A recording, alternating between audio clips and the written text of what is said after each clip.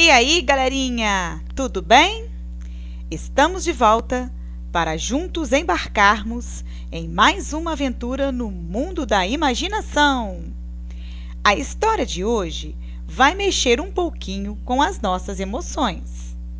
Venham comigo conhecer o monstro das cores.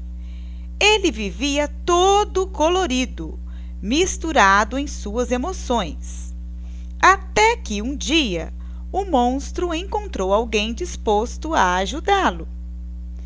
E, logo, logo, ele conseguiu organizar todos os seus sentimentos.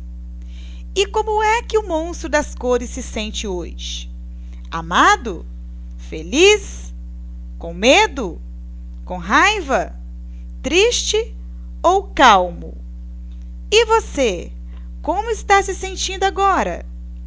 Após fazer a leitura e interpretação oral da história, o seu desafio é escolher uma das cores relacionadas ao sentimento que o monstro nos mostrou na história e desenhar o seu monstrinho com a cor que melhor demonstra qual é o seu sentimento após ler essa linda história.